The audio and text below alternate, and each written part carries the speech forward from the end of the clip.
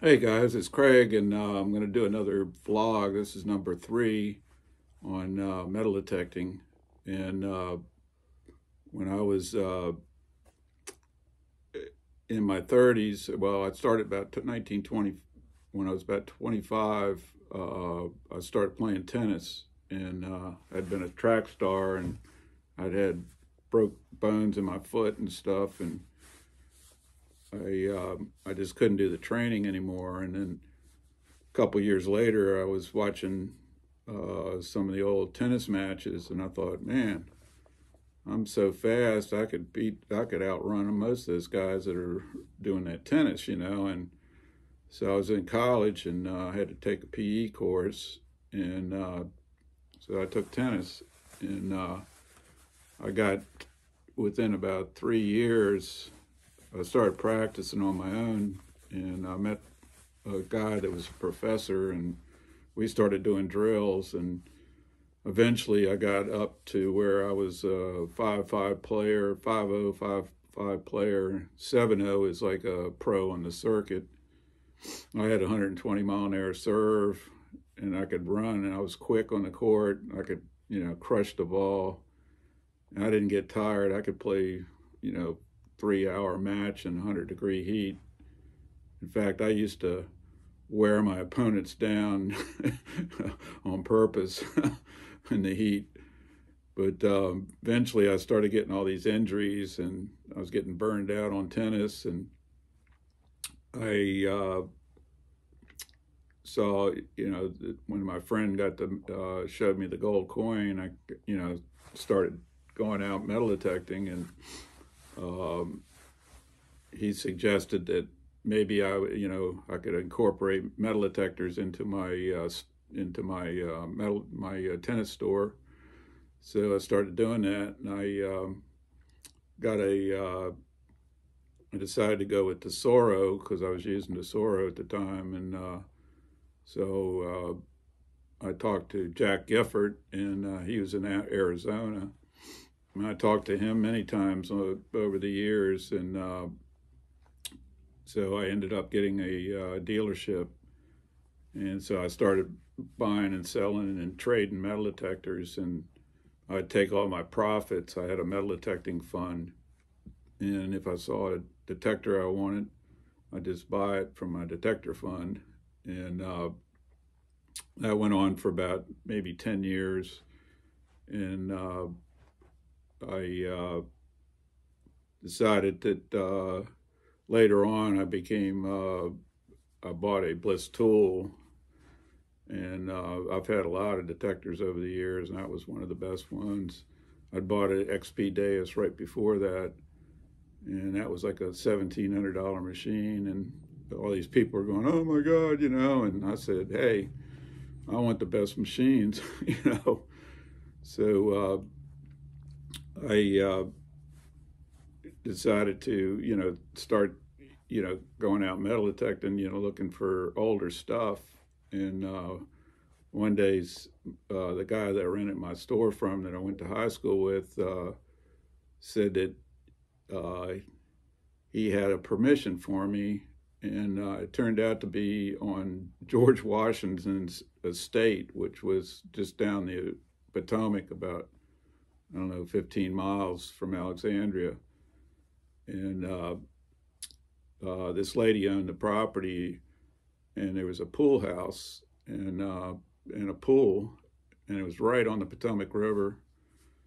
Uh, so we went down there, and on the way down, I had the Teknetics, and it broke. It smashed into the side of the uh, truck as it, we were going down. So I had a brand new bounty hunter that I was trying to sell.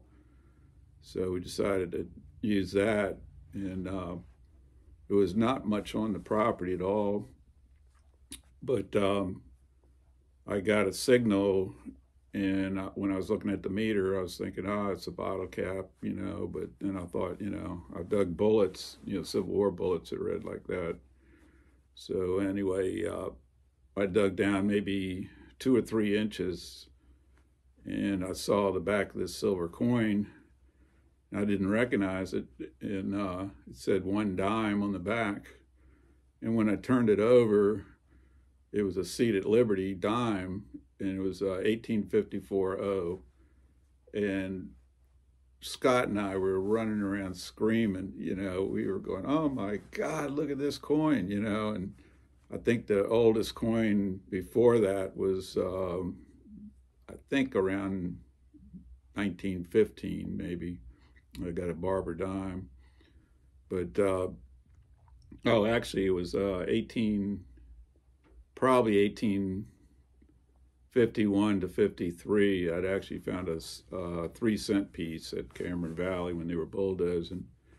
But um, that was definitely, the Seated Liberty was definitely the best. And it changed everything. I I decided instead of going after quantities of modern silver coins, I was, you know, I was reading all these uh, treasure magazines, and I saw people digging, you know, fantastic stuff in there. And one guy was Ed Fedory, and he was up in New York, and he was digging reals, Spanish coins, and uh, I uh, I thought, man, that's crazy, you know.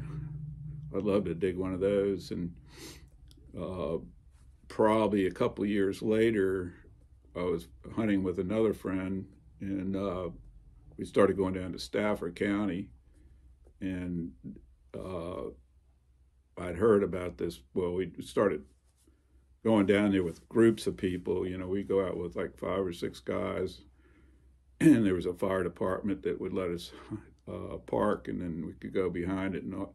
There was woods all over Stafford County. It was unbelievable house sites, and 150,000 troops had camped in Stafford County after the uh, Battle of Fredericksburg, after they got their asses kicked, and uh, they were there the whole winter, and uh, there was just you know unbelievable the amount of stuff they left behind. so we used to kind of like explore the woods. Of just miles and miles and miles of woods, and um, I got lost several times, really bad, and uh, ended up uh, bringing a compass with me and then always looking at the sun to make sure I didn't get lost. But uh, the uh, that coin, you know, I decided, you know, the heck with these modern, you know, silver coins and going, you know. Um, I still did it, but I, you know, on the weekends I decided I was just going to go south, and uh, we started going down to, you know, Stafford, and uh, we were finding all kinds of stuff. And I heard a rumor about some kind of tavern that people had been hunting around and they found thousands of silver coins and really old ones. So I kind of knew the general area, but I'd never been there before. So me and this guy Mike walked down through there, and um, he was kind of off to the right of me, and I saw this square area and I started walking toward it. It was completely flat on the side of this hill, and uh, he kind of went on down the hill, and so uh, I saw two dig holes, and uh, I swept. I went over both the dig holes, and there was nothing, and I went uh, between the two holes, and I got a signal, and it was loud, and it was reading pretty high on the meter and uh, I think it was reading like a silver quarter. And I dug down about two inches and I saw this like a quarter. I thought at first it was a quarter of a dollar and uh, started wiping it off. And I noticed it was a Spanish real and uh, it was a quarter cut from an eight real. And it was almost in mint condition. And there was no wear on it at all and I was sitting there on my knees just looking at this coin I couldn't keep I just kept turning it over and over in my hand and I, I was just in shock. I thought, oh my God, I've actually found one of these, you know, and didn't know if I'd ever would. And uh, my friend came walking up about a minute or two later and he was going, what's wrong? What's going on? And I said, man, you're not going to believe this. I showed it to him and oh, he got so mad and uh, I said, you know, I said, I don't care if I find anything the rest of the day. This has made my month. made my year almost. but uh, since then, uh, I've found uh, 22 cut coins, and I found uh, 20 uh, regular silver. I mean, uh, regular reals, and I found them as big as two reals. I've never found one bigger than a two real. I did find a four real that was cut in half. Um, I also found a real, uh, eight real that was uh, cut in half, and it was 1755.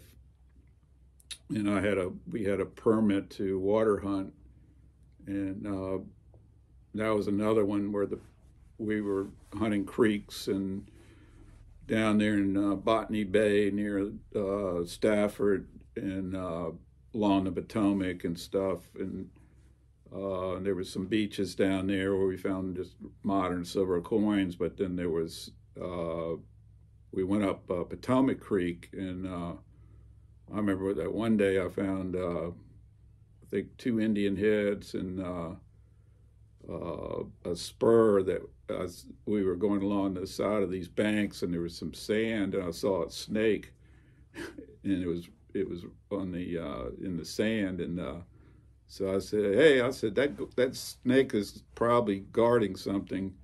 So I'm going to jump out and uh, everybody thought I was crazy. And uh, so it was it was a giant black snake water snake I guess. And uh, so I started wading over there, and the snake saw me and it took off into the water. And uh, so I went right up on the bank and I swept right next to where the, the uh, snake was, and I dug a spur, Union spur, perfect condition. But uh, I, uh, these Spanish coins, though, uh, when I first came into town here in Middletown, uh, there was a lot down the street and it just was calling to me. I've had this happen many times where for some reason a site just calls to me and so I actually during one of the uh, yard sale they have like these uh, mile long yard sales and stuff in this town and all kinds of parades and stuff and I saw a guy over there was selling some stuff in the lot and uh, went over and asked him if he owned the property or knew anybody that did, and he said he didn't.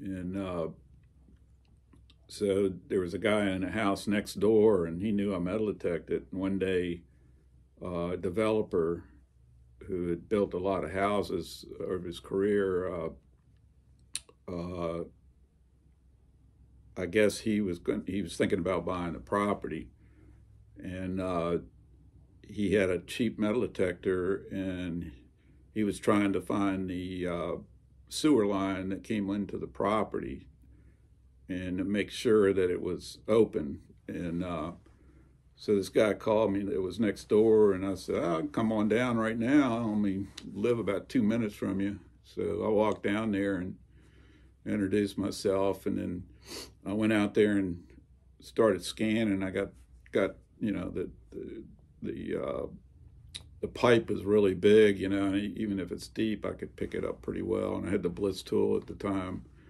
So I traced it all the way over. And um, so he started digging and he couldn't pinpoint it. And uh, so I actually had a pinpointer with me. And uh, once he got the hole open, I pinpointed the pipe. And then I actually took my shovel and scraped it all, right, you know, all the dirt away. And he goes, "Man, you're really good at that." And I said, "Well, I've been doing it for years." but uh, so anyway, uh, he knocked a hole in it, and then the uh, it turned out that the uh, sewer was open. So he started reaching in his pocket, and he said, uh, "How much do I owe you?" And I said, uh, "I really don't want any money, you know, and but you know, if you could, I'd like to." metal detect the property. So he goes, if I buy it, he goes, that's a done deal for you. So uh, a few days later, he called me and uh, told me that I could metal detect the property as long as I wanted, and I could bring. He wouldn't allow anybody else to do it, but if I wanted to bring somebody, I could. So I was kind of disappointed at first because it wasn't a whole lot I was finding, and uh, I let a couple people hunt. One guy I had met in town, and uh, he found a beautiful uh, Canadian half dollar silver right by the you know sidewalk, and uh, I'd found a couple Indian head pennies and a couple bullets and a lot of wheat pennies. There was just wheat pennies everywhere, and uh, over the next couple months, uh, they you know I I pretty much hunted most of the property, and uh, he cut down a bunch of bu- uh, bushes next to this house, and they ended up knocking the house down. But uh, one day I was I'd hunted for about four hours and just hadn't found hardly anything, and I decided to make one sweep because I noticed I said, "Well, I forgot to hunt real close to the house where they took all those bushes out." Got a signal. I thought, "Man, that sounds good." And I dug down about I don't know five or six inches, and I looked down and I saw this cut coin straight up and down in the side hole, and um, I said, "Oh my God! It looks like it might be Spanish silver." And so I pulled it out, and it was a half of a two real, and uh, it was pretty worn, but uh, you could see where somebody had uh, started cutting the coin originally, and then stopped, and then cut it where it was more more even, straight through the middle. It's like they cut it wrong, started cutting it wrong at first, and then you know redid it and then it was it looks like the coin was holed and that the uh, whatever they had it attached to broke through and and you know maybe that's why they lost the coin because it uh, you know the where the hole was it, it, it had broken through on you know the edge.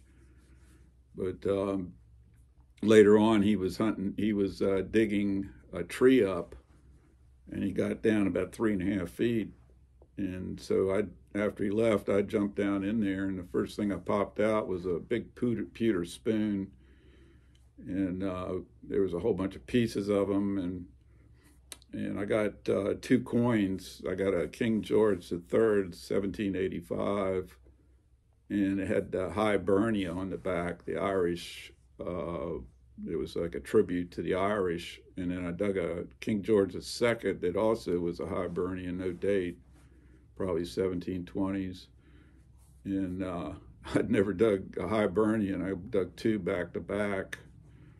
So uh, you never know, you know, it pays off to do a little extra work. I, I dug that whole pit out and uh, that was, you know, about all I found. But I, I think, you know, when they bulldoze that site again, there'd probably be stuff down deep, deep in that ground over there.